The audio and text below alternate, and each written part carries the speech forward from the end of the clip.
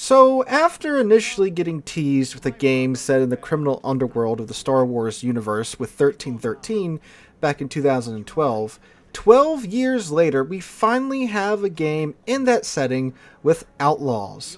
Outlaws is the latest release from Ubisoft's massive entertainment studio, following their game set in the Avatar universe, Frontiers of Pandora, which performed decently well. So, with that in mind, and being a massive Star Wars nerd, I downloaded Outlaws last Sunday and have been playing it since. And in today's video, I'm going to go over my experience with the game and let you guys know if it's worth picking up. So join me as we dive into Outlaws. It's time to eat.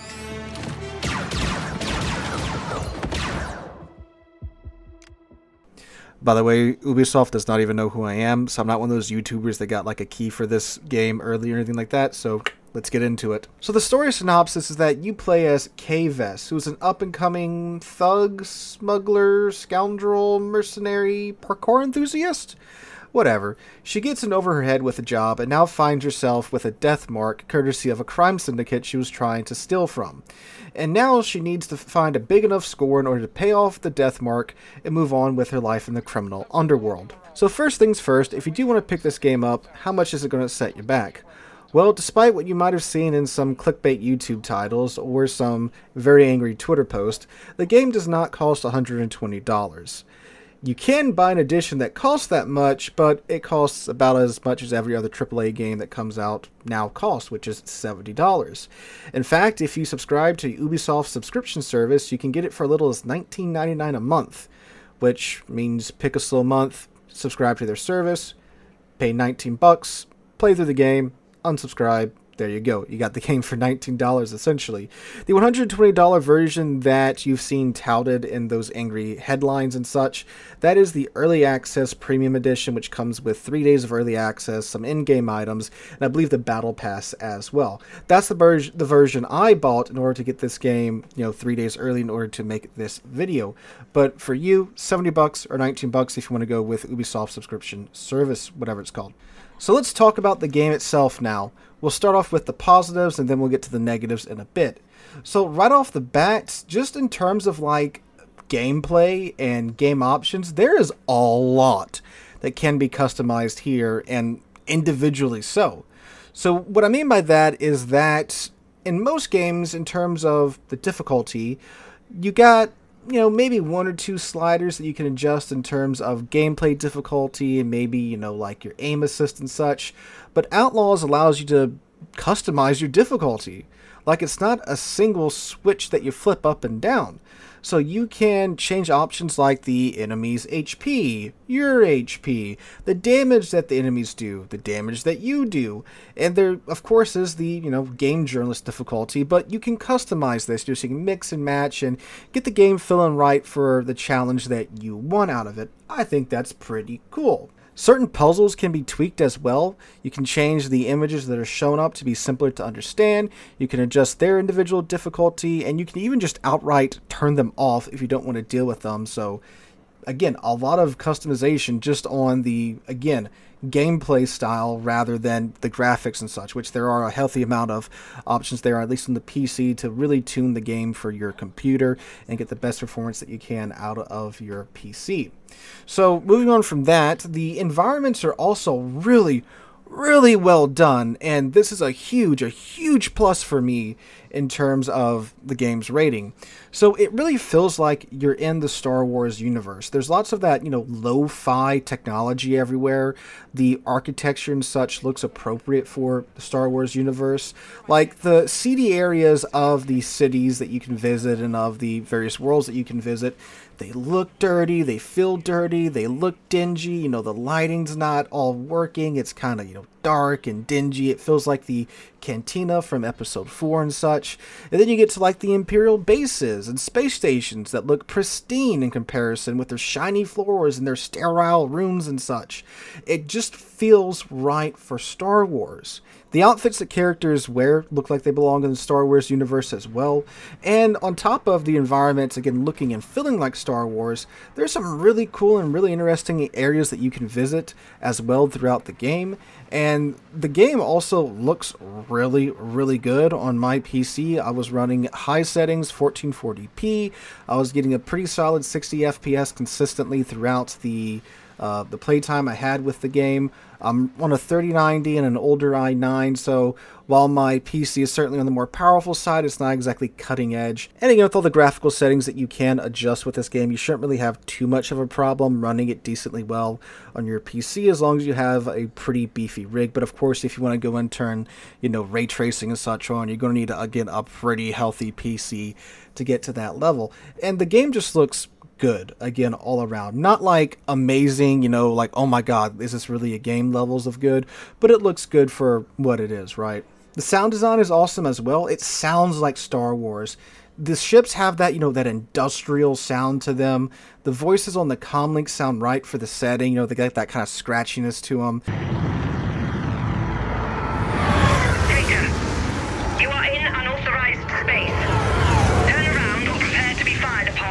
basically what like Andor did for Star Wars streaming shows with their environment, which is again absolutely nail it for Star Wars.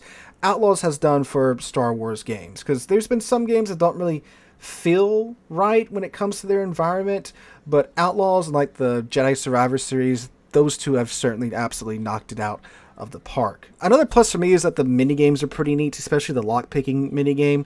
So rather than do the standard, you know, like Oblivion, Skyrim, Fallout lockpicking mini game that so many games have done before, it's a rhythm mini game. Like you got to time your clicks to the uh, beat of the lock, which saying that out loud doesn't really make a lot of sense, but like in game, it's pretty satisfying to do.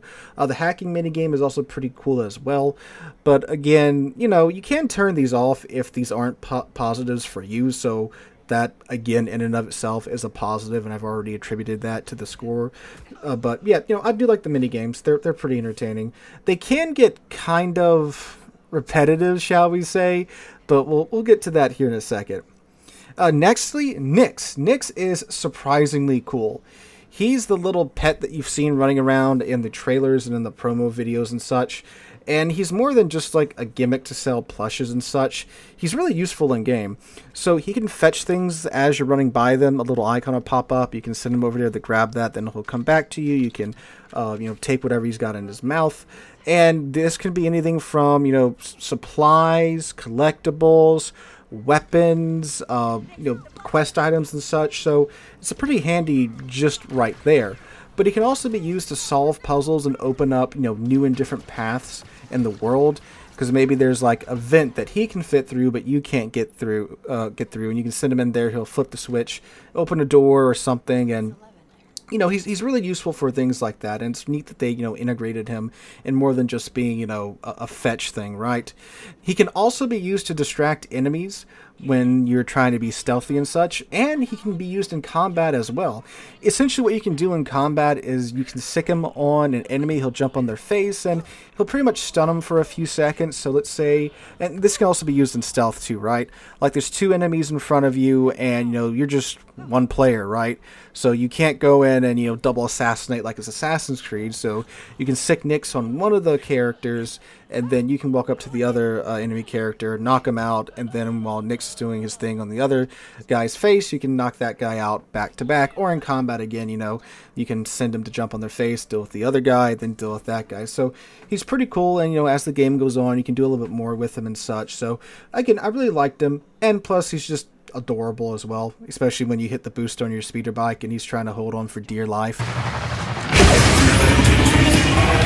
Space combat was also surprisingly solid. I, I forgot that there was space combat in this game because of, well, again, we'll get to that, to that in a second.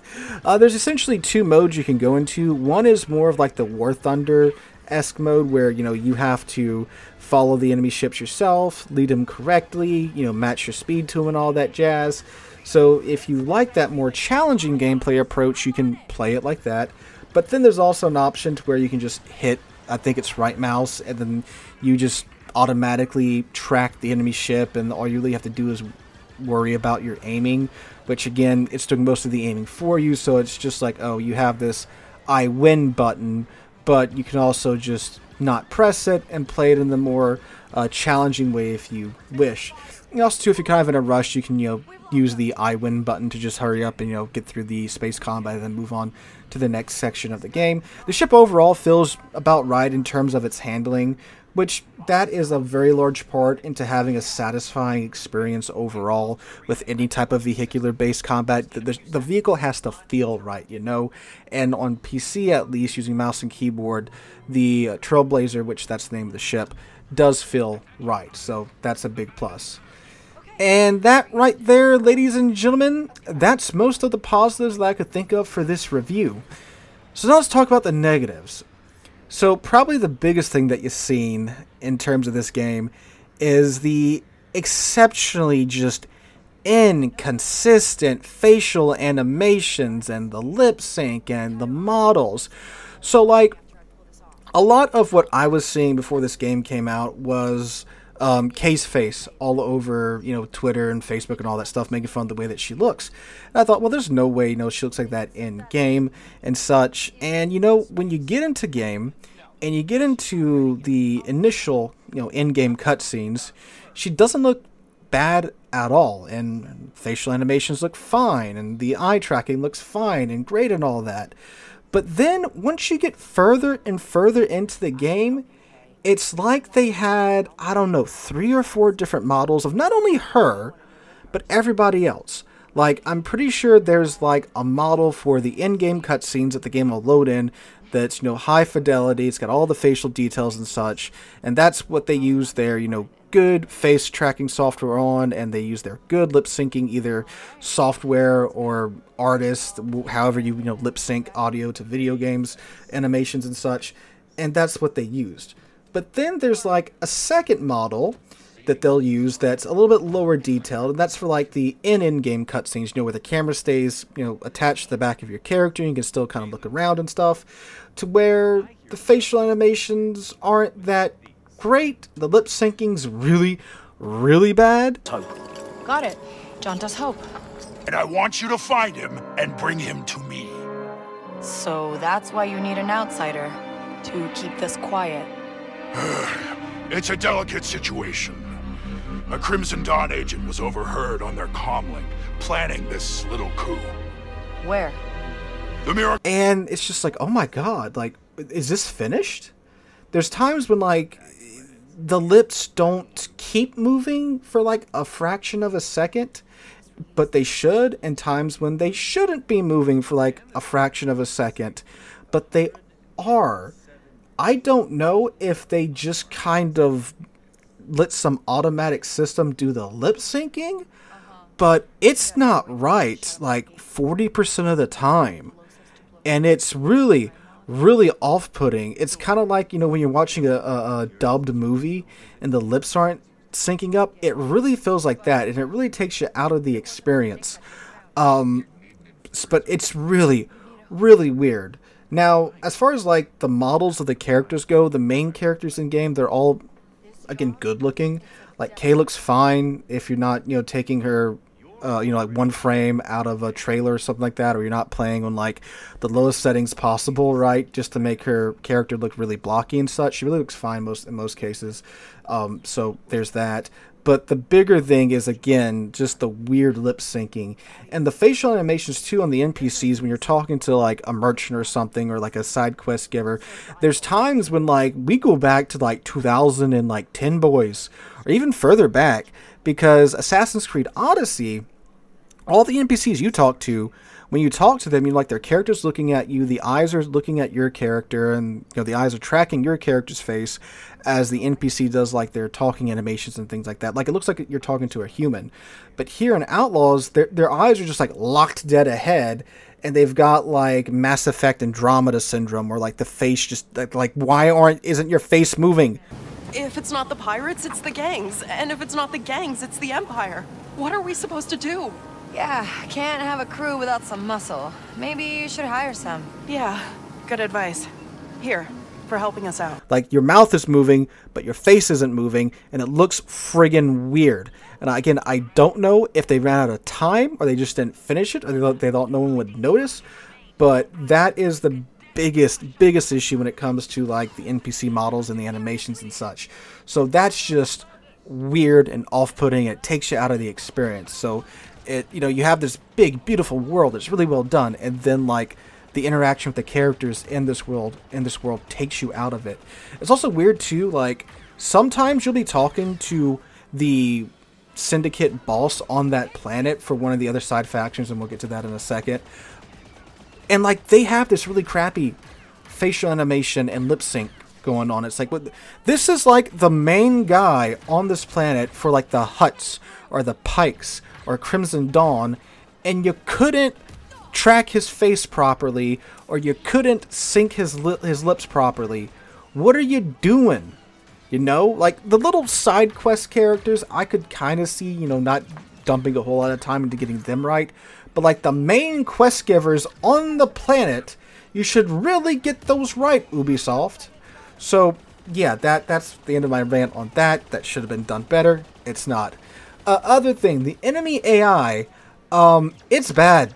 It's it's really bad, which is really funny because before I bought this game, I was watching another YouTuber, and I won't mention their name, and they're like, "Oh yeah, the enemy AI is really neat. They actually thoroughly search the area when they think they spotted you." No, they don't. They do the standard, huh? What was that? Then they walk over to the area, huh? Guess it was nothing, and then they go back. Like they do less searching than again the enemies in like Assassin's Creed Odyssey do. Because if you get spotted in that game, the enemies actually come over to where you were last spotted at, and they start looking around that area. Like if you were spotted coming out of like a bunch of tall grass, they'll go to the tall grass and they'll start, you know, like fanning their way through it looking for you. They don't do that in Outlaws, at least from what I saw. They just kind of walk over, stand there for a second, maybe look around for a second or two, and then they go back to where they were beforehand.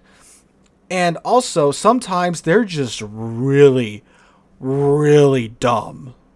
So, yeah. Now, granted, that's not exactly an Ubisoft thing, but like, this game's whole thing is that it's a stealth game. So, if your whole thing is that you're a stealth game, your AI should be top tier. But it's not. So, that don't make no sense, fellas. So unfortunately, that's a pretty big tick. Now, if you do crank up the difficulty, they are a little bit smarter, but it's not a tremendous improvement. I played on regular, everything was set to regular, you know, because I think that's where, you know, the game is designed to be played at. So, yeah, wasn't the best ever. Now, probably one of the biggest complaints I have is that the missions are incredibly repetitive and they are incredibly, incredibly tedious at times. And keep in mind too that, well, I'll save this for the next section, but there, there's a so something that goes with this. So the missions are really repetitive, which is pretty standard for Ubisoft. But here, it, they, they kind of take it to the next level because it's go to this area, get this item, sneak in, get it, bring it back, get rewarded. That is about 80% of the missions. Like that that that exact that exact chain of events. You go to an area you sneak in you pick some locks you maybe hack a computer or two you get the item that the quest giver needs and then you go back. It's fetch quest at the fetch quest at the fetch quest at the fetch quest. And in fact before you leave the tutorial area, you have to do a fetch quest in order to do a fetch quest. Like, you literally have to go get, it was what, some type of power generator to then go steal a hyperdrive computer in order to get your ship a hyperdrive computer so that you can finally, you know, leave the tutorial planet. So you have to do a fetch quest before you can do another fetch quest. That is just, ah, why Ubisoft? Why? Why? So yeah, and this is in the tutorial section. So like the part of the game that's supposed to, you know, grab your attention and get you hooked on the game, it's all fetch quest. That's all the tutorial is for the tutorial planet. And that is beyond infuriating. So then we get to the And this really isn't a negative. It's it's negative that this isn't used more. The reputation system between the various syndicates, it's a pretty cool idea. So with this various syndicates in game, the Pikes, the Hutts, and Crimson Dawn, you have a reputational reputational standing with each of these underworld crime syndicates. And as you do jobs for them, your reputation will go up. You have access to their vendors to let you in their areas on the map without questioning you, and you can go around in there and you can you know kind of play them off of one another. You can get really high reputation with one syndicate, then like let's say you have a high reputation with the Pikes, and then the Hutts want you to steal something from the Pikes. Well, since you have a high reputation with the Pikes, you can just walk in and as long as you don't get caught, take what you need from the Pikes, then go give it to the Hutts. So, you know, that's a pretty cool idea. But the thing is, like, there's no real downside of just trashing one syndicate's reputation, your, your, your, reputation with one syndicate. Yeah, you know, they won't give you quests or anything, but, like, that's about it, you know, that's, yeah, that's okay. So if that was a little bit more in depth and fleshed out, it, it would have been a cooler concept. Another thing is that um, there's no real weapon variety in the game by that I mean you have Kay's pistol, blaster pistol, which in game is described as a heavy pistol, despite being incredibly tiny. You know, heavy pistol is something like Han Solo's DL44. That's a heavy pistol, heavy blaster pistol. But you have this like it literally looks like the was it the quiet cricket, uh, the the quiet cricket or the silent cricket from uh, Men in Black. That's literally what it looks like. It's just this tiny little thing. And that's all you got. Now you can unlock modules and such, which do change the way that the blaster pistol works. But that's it. You can't get any other pistol to carry around. And you can change the way it looks and such, but it functions the same.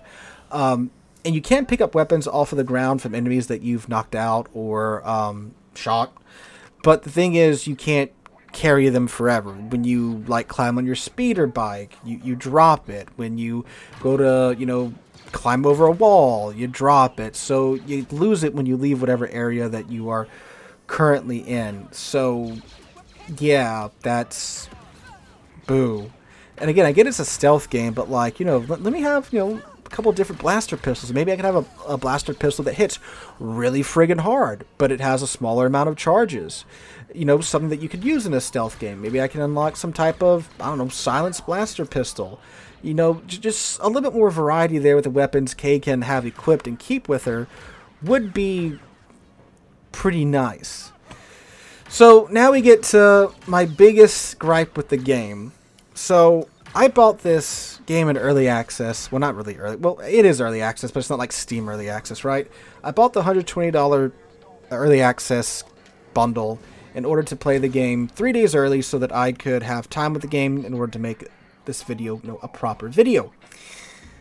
Here's the thing though, um, so after charging me and other players $120 for early access, the game doesn't work. There's a problem with the early access build of the game where you will get stuck either on a planet or in space because your ship doesn't register with the game anymore. For some reason, this got by Ubisoft. I don't know if they didn't play it, play the game for long enough, to play the particular build for long enough. But when you are charging players $120 and they have to stop playing and can't progress any further because of something that should have been so easily caught in playtesting but you just didn't put the effort in to check it out. And it's not like it's a problem that can be patched, because it has been patched. But guess what? You have to start over from the beginning in order to fix the problem. So Ubisoft released the patch on, I think, the Monday night that early access began. And I was able to get in on Sunday for some reason. So I played Sunday night, Monday evening, Tuesday evening, Wednesday evening. I put about seven hours into this game before I got to the point where I could no longer progress anymore. And, you know, I tried Googling to make sure that I wasn't missing anything, but sure enough, I had this bug where my ship no longer registered, so I had to start all over again after seven hours of playtime. Now, before you start typing things, I am not a YouTuber full time. I have a day job. I'm a teacher. I don't have days to spend playing this game all over again. You know, I'd come home, do my World Warships video, and then I'd, you know, play Outlaws for a couple of hours and then go to bed and rinse, wash, and repeat because I wanted to make an Outlaws review video because I love Star Wars and I, you know, wanted 1313. And this is about closest to 1313 as we're going to get, apparently. Um, but yeah, so that absolutely sucks and should have been caught in testing. Now, you might be wondering, well, then how can you fully review a game if you can only play seven hours of it before you have to start over again? Because, fellas, um, I have unfortunately played a lot of Ubisoft games. They keep setting their games in some really, really cool settings that just pull me in. And then I play them, and guess what? They're all the same for the entire duration of the game. Fetch quests, or the same thing over and over and over again. That's what it is. Uh, except for you know like a couple of the Far Cry games and stuff. You know that that's literally what their their business model is, or I should say their game model is. Fetch quest, repetitive quest. Every now and then you'll get you know a scripted quest that's a little bit different than the other ones, but that's all it is. And I did go watch some gameplay from later on in the game, and guess what? It's all the same. Enemies are acting the same. Um, they might have a little bit more health. They might be a little bit smarter later on in the game, but it's the same as the tutorial planet. So, yeah, I feel pretty confident in saying that, you know, after having played this game, well, seven hours on my first playthrough, I'm two hours into my second playthrough, I'm almost back to where I was beforehand. I'm just skipping all the cutscenes and stuff and just doing a main a main quest speed run at the moment. Um, yeah, so after playing this game for nine, almost ten hours at this point, I just have again an unfortunately high familiar familiarity with Ubisoft games that I can see where this is going. And you know what? Um, I looked up some reviews for Frontiers of Pandora, and guess what? It's the same thing. They nailed the location. Game looks great. There's a couple of cool things in there, but it's super repetitive. Same studio made Frontiers of Pandora as Star Wars Outlaws. So I feel really confident with my review of this game. Overall, the rating if it worked, if I was able to continue on without having to restart from scratch, I would have given it a 6. But that is an inexcusable mistake from Ubisoft. That if you're charging players $120, almost double the price of the base game, you can't be bothered to playtest it enough to where you simply play for what seems like seven, eight, or nine hours and catch that bug before you, you know, put your build up to be bought then that's just inexcusable in my mind. Um, so they lose some points for that. But it would have been a six. Right now, it's a five. That's a very generous five because the game is average in terms of gameplay. Because it's just nothing but fetch quest. But you know, if you played Ubisoft games before and you keep buying Ubisoft games, I guess you do like fetch quest. And I'm kind of talking at myself right here when I say that. But the wonderful environments and you know the noise, the visual design of the game, um, that all and Nix was going to put it at a six for me, but we're at a five right now because of Ubisoft being lazy. So my recommendation is that wait for it to go on sale. This will probably be half off by Black Friday. So if you pick this pick this game up for like 30 bucks, 35 bucks, or even like 40 bucks, I think you got, you know, your money's worth there with the space combat and the environment and Nix and you know, there are some pretty cool moments that I had in my you know seven eight nine hours of playtime with the game so i do think again you know like around the 40 buck margin that's when i would pick it up um, you could also do again the ubisoft subscription thing where you just you know get one month of it pay the 19 bucks cancel it right after that that way you only get charged for one month and then you could probably play through this game in definitely a month you know worth of weekends or whatever um, for sure and get your money's worth of it like that. But anyway, guys, that is my two cents on Star Wars Outlaws. Let me know what you guys think in the comments down below. You're planning on picking up the game? Have you picked up the game? What is your experience with it? Hope you guys enjoyed. Have a wonderful Sunday, wonderful rest of your weekend. Hope to catch you guys in the next one.